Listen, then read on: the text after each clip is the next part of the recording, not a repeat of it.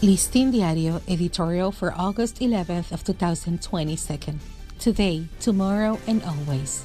Freedom and democracy are defended with courage, integrity, perseverance, and sacrifice, both wielding the sword and the pen. Sword to deal with humiliation, aggression, and indignation. The pen to explain the cause and defend the action.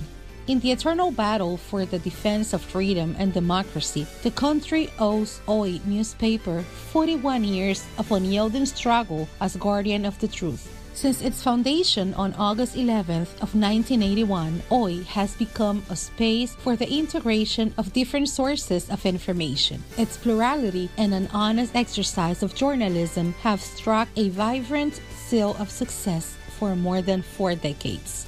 On this anniversary of the Colossus of San Martin Avenue, Listín Diario is filled with joy by presenting the most sincere congratulations and wishes for further success with Bienvenido Álvarez Vega, Director, Nelson Marrero, Deputy Director. It's a staff of good journalists, technicians, and support staff. Hoy is a good awakening every morning. Our congratulations to Corripio Communication Group and the administrative staff headed by Mrs. Gema Hidalgo for the strength of this journalistic company long years of success and innovation for Hoy newspaper, always at the service of freedom, democracy, and the well-being of Dominicans. For Listín Diario, voiceover and translations by Indira Rodriguez.